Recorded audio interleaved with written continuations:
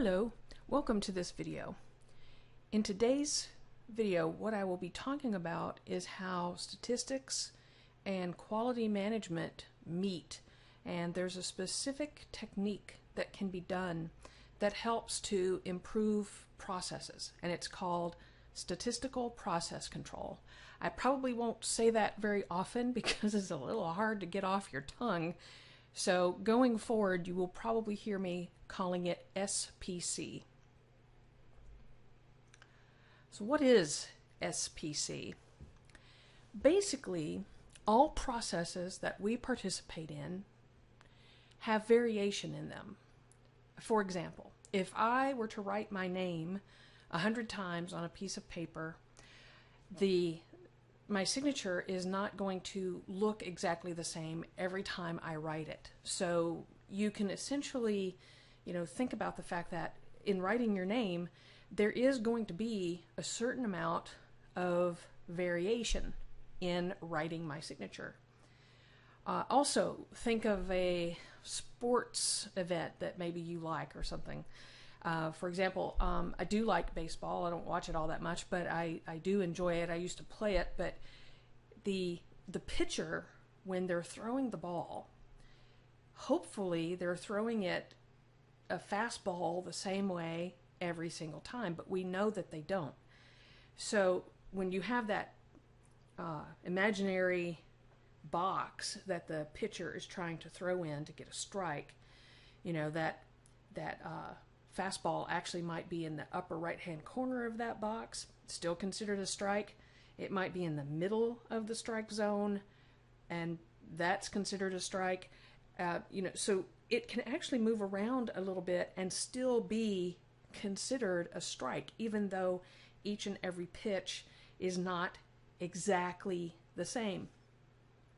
The challenge with trying to uh, measure this is the actual measurement itself. So, for example, uh, probably the only way that we can really measure uh, pitchers in a baseball game is the fact that we have video evidence. So, we could take video and break it down frame by frame to see exactly what the pitcher is doing. And I'm pretty sure that's probably what they do in order to figure out is there something happening with their elbow? Is there something happening here?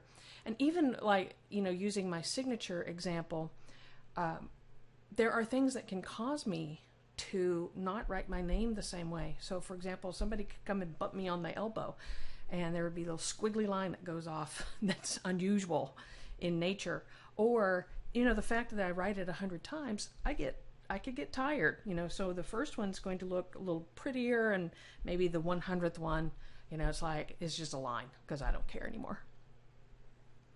So statistics gives us a method, a way of being able to measure this variation in processes in order to make improvements. So again, I, I spoke to this a little bit uh, in like my signature example. You know, if somebody hits me in the elbow as I'm writing my name, then that's a special cause variation. That's something that's unusual. It would not happen frequently. And so we can see that, of course, in the fact that my signature has this really wayward line that goes out somewhere. And but then the other part of it is that a common cause is the fact that if I'm writing my name a hundred times in succession, the fact that I get tired, anybody would get tired. That's that would be a common cause variation that anyone having to do it that long would get a little bit tired of it. Now, of course, we want to remove special causes if we possibly can. Um, and I'll give you an example, kind of a, uh, a little out there example. Um, let's say that we are on a manufacturing line and uh, earthquake happens. Well, an earthquake is not something that we can control. And it could definitely have an effect on our production. It can have an effect on the quality of our product. Uh, it could have all kinds of special cause variation if we were measuring it, uh, but there would not be any way for us to actually take away that variation because there's nothing that we can do to prevent an earthquake. However, there are lots of causes sometimes, whether they're special or they're common, where we can work to improve them. We can we can work towards removing them from the process and some of that can be you know somebody uh, is not trained well on this on this manufacturing process or something or on this machine. And oftentimes through measuring this variation we can start to see oh okay we had some new people uh, these batches didn't come out so well you know perhaps we need to take a, a good look at how we train people so that we can alleviate that special cause variation.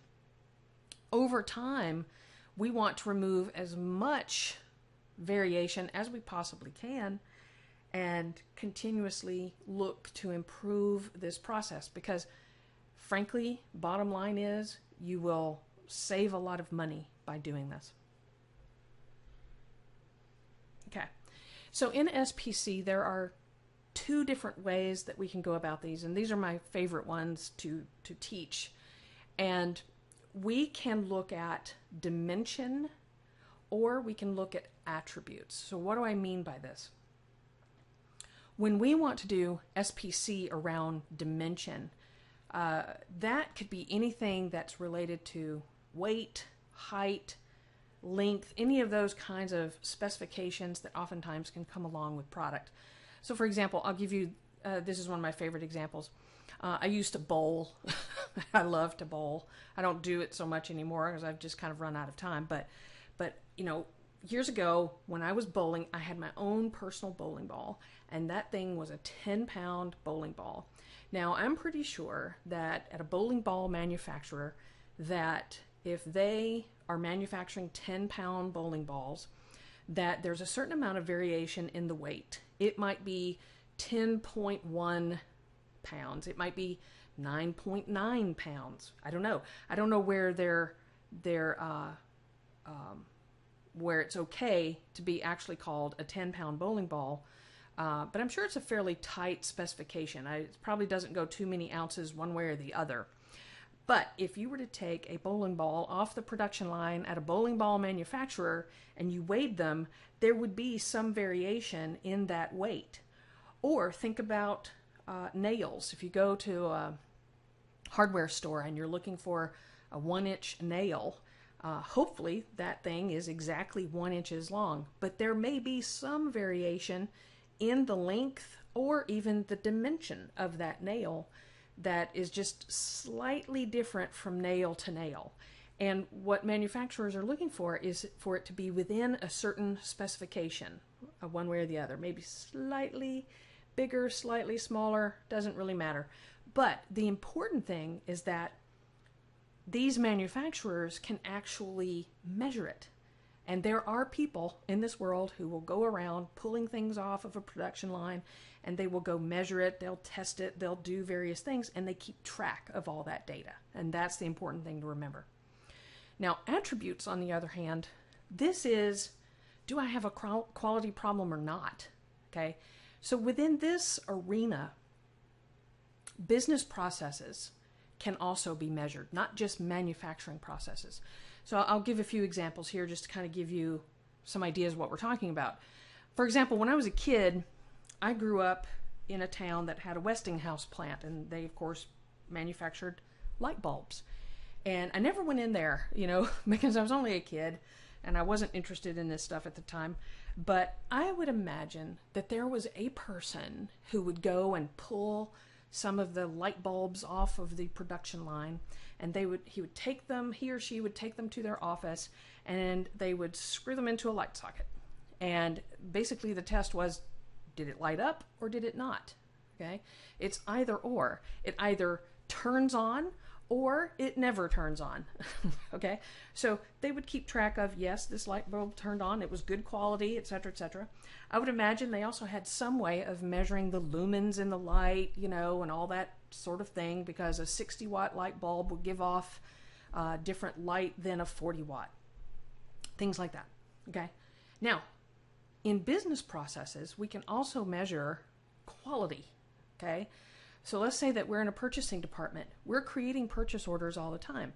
And those documents are pretty standard, you know, and we would want to make sure that we have the right vendor on the purchase order, the right product is being ordered, the right price has been entered, that signatures are present. There's all kinds of things that we can define as quality around that document. So this can apply to contracts, time cards, any kind of standardized document that has to be done in business. Therefore, we could actually measure it and keep track of okay, on this purchase order, how many errors did I find? Maybe on this purchase order, I didn't find any.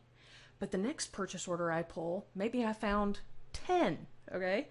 And I could keep track of those things and just see over time through a visual aid of just how much my process is in control. So, what is coming next? What's coming next is I will be doing a presentation using attribute data just to show you how easy this is to do for a business process. And we will take some information and we will throw it into a template that I have. And it's an Excel template, and I'm not here to teach anybody the, the actual statistical model itself. What's more important for me is that you understand what SPC is, how you can apply it, and what the lovely little charts can tell you when you're looking at them. So that will be the upcoming presentation. All right, and if you have any questions, please contact me. Otherwise, I will talk to you again on another video. Thanks.